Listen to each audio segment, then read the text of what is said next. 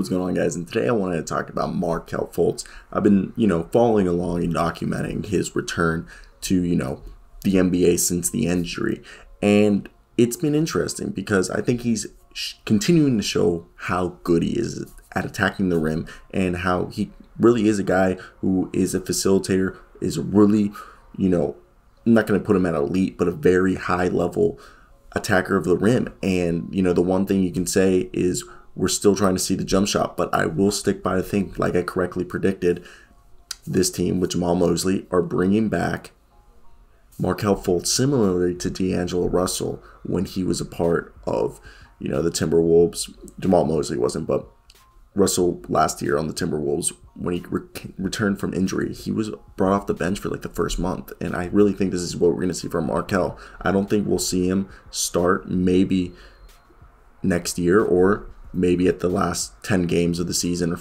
you know last week or so. But if we just want to talk about Markelle how he's done so far I mean tonight he shot 50% from the field. Again this year he has not hit a single three-point shot.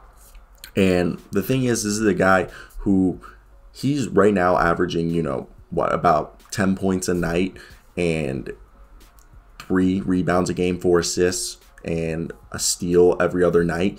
And what he's showing is right now on like 17 minutes a night is a guy who's going to come in, drop a bunch of dimes, okay? Because right now, if you think about it, his numbers, if you double that, like it would be like 34. He'd be averaging, you know, 20 points eight assists, six rebounds, about a steal a game on 57% from the field. I know the three point shot isn't hitting, but if we look back to last year, I mean, last year there were stretches where we were like, okay, that three point shot might be coming around. I know it was at 25%, but he was taking the most attempts at it of his career. So I really think Markelle with Cole Anthony Jalen Suggs and RJ Hampton. I really like those four guys as the the backcourt right there as going into the future. And with Jonathan Isaac's coming in and Chuma Okeke looking like looking so good. Okay, Chuma's is so underrated. And then you also have Franz Wagner right there, who's also awesome.